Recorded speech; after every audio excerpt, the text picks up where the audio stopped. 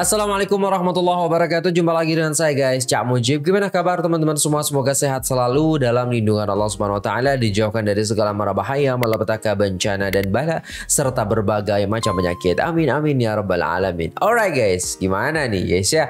Ada sebuah requestan daripada teman-teman sekalian di Instagram ini Yaitu kisah sedih Tengku Ali Shah Sultan Terengganu 1942-1945 Yang hilang takhta karena pembesarnya. Oh ada gitu ya guys ya Oh, kok bisa gitu ya?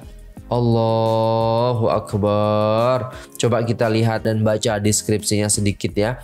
Jika sesiapa yang gemar membaca pasti mengenali sesiapa sebenarnya Tengku Ali dan apa kaitannya dengan tahta kerajaan negeri Terengganu ya. Untuk pengetahuan kita semua, Tengku Ali dilahirkan pada tahun 1914 di istana tepi bukit berhampiran Bukit Putri, Kuala Terengganu. Nah, ini daripada detektif jadian. Nah, jom kita tengok videonya terlebih dahulu. Masya Allah, handsome ya. Allahu Akbar, Sultan Tengku Ali ya. Tengku Ali Shah. Allahu Akbar. Jom kita tengok videonya guys. Let's go. Terima kasih klik video ini. Jangan lupa guys, jangan lupa subscribe, ya. subscribe ya. Okay. Masya Allah. Jika sesiapa yang gemar membaca sejarah pasti mengenali siapa sebenarnya Tengku Ali dan apa kaitannya dengan takhta kerajaan negeri Terengganu. Untuk okay. pengetahuan kita semua, Tengku Ali dilahirkan pada tahun 1914 di Istana Tepi Bukit berhampiran Bukit Puteri, Kuala Terengganu. Beliau merupakan putera sulung Sultan Terengganu ke-13 iaitu Sultan Sulaiman Badrul Alam Shah ibni almarhum Sultan Zainal Abidin III yang memerintah di antara tahun 1920 hingga 1942. Bondanya adalah Tengku Ampuan Mariam binti almarhum Sultan Ahmad I Pahang. Tengku Ali mendapat pendidikan awal di Sekolah Sultan Sulaiman Kuala Terengganu sewaktu berusia 8 tahun dan kemudiannya melanjutkan pelajaran ke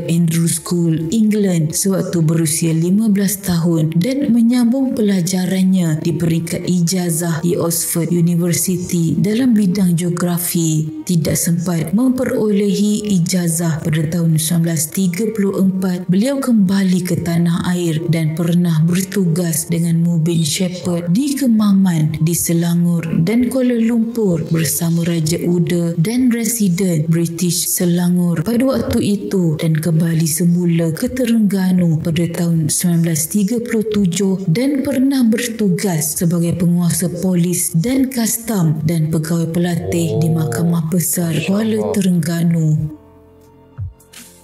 Dilantik ya. Pada 29 Januari 1942, Tengku Adi dilantik sebagai Yang di-Pertuan Muda iaitu Raja Muda Terengganu oleh Sultan Sulaiman Badrul Alam Shah dengan persetujuan Ahli Majlis Mesyuarat Negeri. Sultan Sulaiman Badrul Alam Shah, Sultan Terengganu ke-13 mangkat pada 25 September 1942 jam 5.30 petang hari Jumaat di Istana Timur pada Padang Seri Negara Kuala Terengganu. Tahun 1942 adalah zaman era pemerintahan Jepun di Tanah Melayu. Setelah almarhum Sultan Sulaiman dimakamkan di kubah Masjid Abidin, Tengku Ali ditabalkan sebagai Sultan di hadapan Tuan yang terutama Gubernur Negeri, Ketua-Ketua Pejabat Kemajuan, Kerabat-Kerabat Diraja dan lain-lain pada 25 September 1942. 1942 pada tanggal 12 September 1945 Jepun telah menyerah kalah dan pemerintahan Tanah Melayu kembali ke pentadbiran tentera British. Pada 5 November 1945 seramai 13 orang kerabat diraja dan pembesar Terengganu mengadakan mesyuarat di Istana Maziah tanpa pengetahuan Tengku Ali sebagai Sultan Terengganu. Pada hari Ahad 16 Disember 1945, beberapa orang kerabat diraja, menteri-menteri dan pembesar negeri berhimpun di Istana Maziah tanpa pengetahuan Tengku Ali dan dalam perhimpunan ini mereka mengisytiharkan Tengku Ali tidak lagi menjadi Sultan Terengganu. Mereka yang terlibat di antaranya Umar Mahmud, Tengku Hitam, Abdul Rahman, Muhammad Saleh Ahmad, Abu Bakar Mustafa, Tengku Embong, Abdullah, Abdul Kadir, Abdullah Yunus, Wan Muda Wan Ali, Tengku Hitam Hussein, Muhammad Hashim dan Tengku Wok. Di antara mereka, hanya Tengku Wok sahaja yang pernah meminta maaf kepada Tengku Ali. Okey, mangkat. Setelah turun dari takhta, Tengku Ali menjalankan pelbagai tugas untuk menjara kehidupan beliau dan keluarga di mana Tengku Ali pernah menjadi pemandu kereta sewa dari Kuala Terengganu ke Kuantan, Pahang hingga ke Singapura. Pernah Duli Yang Maha Mulia Sultan Pahang mengeluarkan perintah supaya beliau ditangkap tetapi beliau dapat meloloskan diri. Selain itu, beliau juga pernah menjadi menjadi tauke wayang bergerak dari satu pekan ke pekan yang lain di seluruh Terengganu bersama anak sulungnya Tengku Abdul Halim. Tengku Ali mangkat pada 17 Mei 1996 dalam usia 82 tahun. Perjuangannya mencari pengiktirafan sebagai Sultan Terengganu terputus di tengah jalan. Beliau dimakamkan di dalam kawasan Masjid Abidin Kuala Terengganu. Makam Tengku Ali telah dibina oleh anak anda beliau iaitu Yang Hormat Datuk Setia Pahlawan Yang Mulia Tengku Datuk Haji Iskandar Abu Bakar Ibni Tengku Ali. Tengku Datuk Iskandar adalah anak anda Tengku Ali dan bekas Tengku Ampuan Terengganu iaitu Yang Amat Mulia Tengku Seri Nila Utama Pahang Tengku Ainun Jamil binti almarhum Sultan Abu Bakar.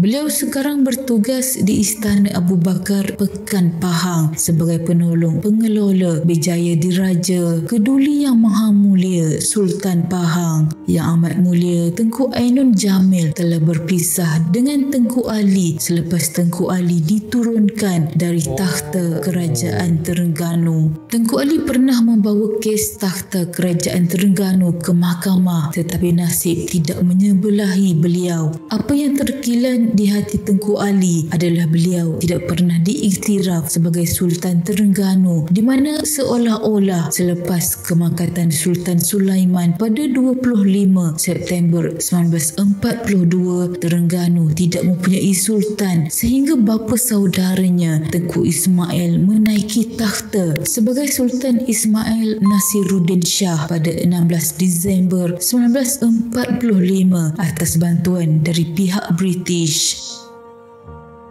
Punca Penyikiran Tengku Ali sebagai Sultan Terengganu pada 5 November 1945 berpunca daripada pelbagai sebab. Penyikiran Tengku Ali disebabkan pendiriannya yang anti-British dan juga sebagai seorang yang secara aktif bekerja sama dengan musuh atau telah bertindak atau bercakap menentang pihak bersekutu. Sungguh pun begitu, pada hakikatnya penyikiran Tengku Ali juga mempunyai kaitan berkaitan dengan rancangan British untuk menjajah negeri-negeri Melayu melalui rancangan Malayan Union. Pihak penjajah British sedar bahawa tidak semua raja-raja Melayu akan menyetujui rancangan itu lebih-lebih lagi Sultan Terengganu yang terkenal dengan sikapnya yang anti-British. Penyingkiran Tengku Ali dari takhta telah memaksa raja-raja Melayu lain mengubah pendirian dan akur kepada kehendak British British. Nasib Tengku Ali bertambah malang apabila menteri besarnya sendiri Datuk Jaya Perkasa Cik Da Omar memihak kepada pihak berkuasa British. Seorang pemerhati pembesar menyingkirkan Tengku Ali itu sebagai cara yang tidak sopan walau apa pun yang berlaku terhadap dirinya. Tengku Ali masih menganggap penurunannya sebagai Sultan Terengganu pada tahun 1945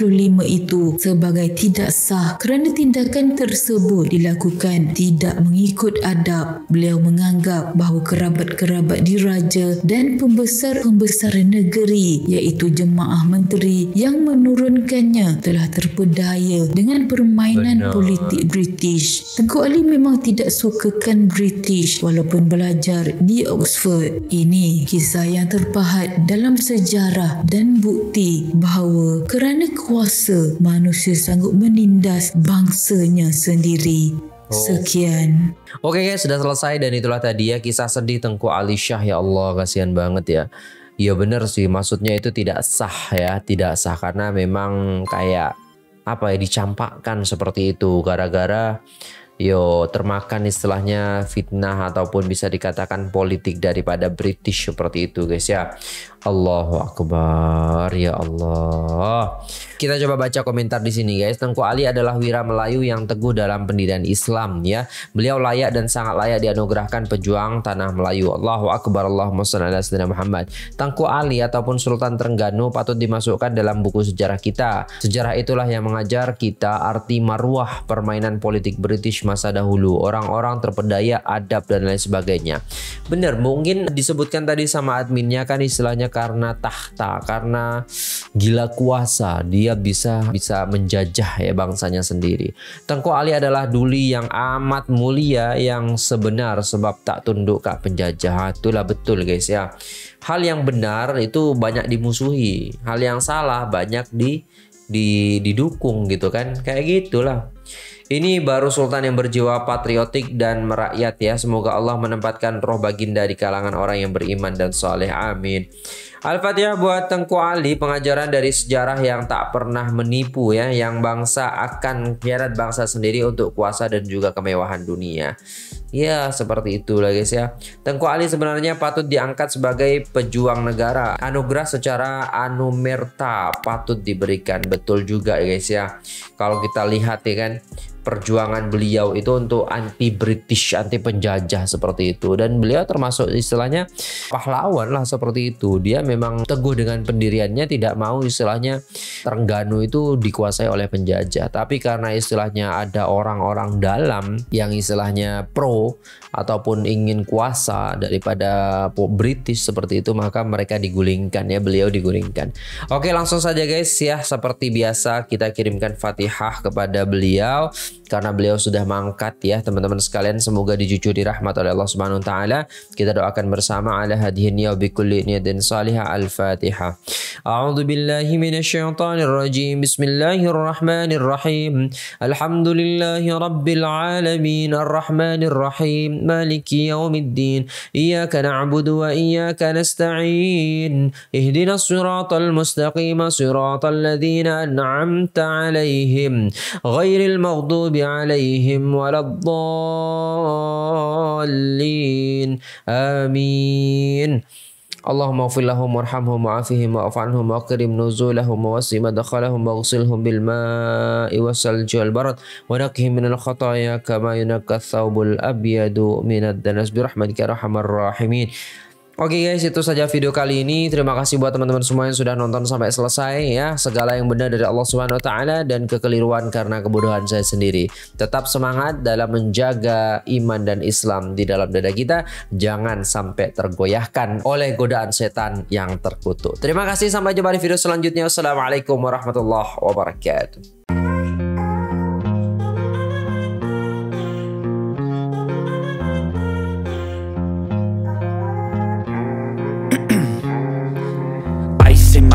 I've been driving this train. Years in this lane There's no stopping this flame. Cause I came to the game And I changed it to play. How I like rearrange